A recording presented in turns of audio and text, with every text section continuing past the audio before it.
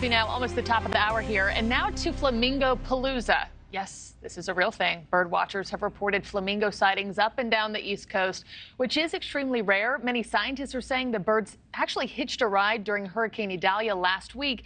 And despite flamingos being nearly synonymous with Florida, they're not commonly found throughout the Sunshine State, uh, at least not really in the wild for a lot of people. Xavier Walton has more. Birds of a feather flocked together, and after Hurricane Idalia, so did dozens of the iconic pink feathery flamingos. Great for birders all around. There's nothing like it. I don't even go to the zoos because if I don't see them in the wildlife, it's just not the same.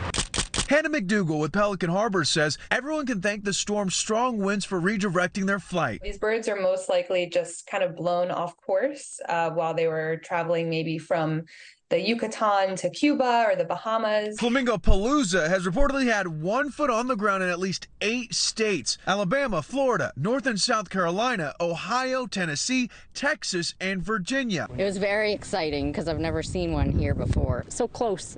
Such beautiful colors. In less than a week, the rare flamingo frenzy has got the attention of the bird watching world. But with that comes a warning. As with all wild animals, you never want to touch them or approach them. Um, just let them be and observe their beauty from afar. Unfortunately, for those hoping to get a look at the leggy, pink wading birds, scientists say this is more of a connecting flight than a destination. It'd be great if it could be their new home, um, but my uh, inclination is that they'll probably just return to where they came from.